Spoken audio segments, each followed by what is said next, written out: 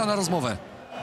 Ze mną piłkarz e, Lecha Mateusz Może i Mateusz, e, jestem ciekaw e, Twojej oceny boiskowych wydarzeń, bo tak z naszej perspektywy to wyglądało to, że Lech wygrał łatwo, lekko i przyjemnie, bo kontrolowaliście to, co się działo na boisku. No zdecydowanie. Myślę, że jestem tego samego zdania i prowadziliśmy grę przez całe spotkanie. Na pewno Krakowa miała swoje sytuacje, których nie wykorzystała dzisiaj. My z kolei byliśmy skuteczni.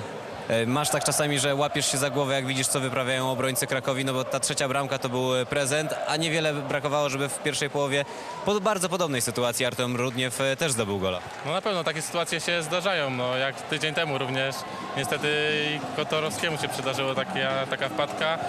No i myślę, że na pewno ból głowy ma teraz bramkarz, prawda? Czy na treningu Artiom Rudniew e, strzela też się ślepakami, czy on tylko trafia do celu? No, zdarza się też ślepaki, prawda, jak każdemu nap- napastnikowi. Myślę, ale no, jest naprawdę w dobrej formie i trzeba to wykorzystać jak najwięcej, jak najczęściej. Zapytam jeszcze o Ciebie, bo dzisiaj asysta. Dla Ciebie to też jest ważny sezon. W, tamtym, e, w tamtych rozgrywkach e, przepiękny gol strzelony Manchesterowi, ale wszyscy mówili, trzeba to potwierdzić w kolejnych meczach. Teraz wychodzisz już w pierwszym składzie Lecha Poznań. Czujesz się taką ważniejszą częścią tego zespołu?